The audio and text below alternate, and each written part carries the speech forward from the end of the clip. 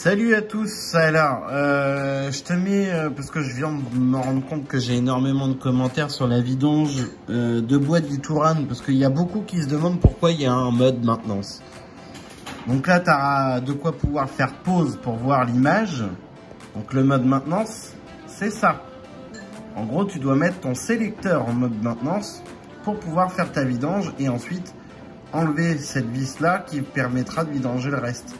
Le remplissage se fait ici par le capteur de marche arrière. Ensuite, ça c'est pour le remplissage à sec. Ça, ça te permet de savoir la référence de l'huile qui est... Euh, alors c'est de la 75-80, hein, mais euh, ça c'est la référence Volkswagen.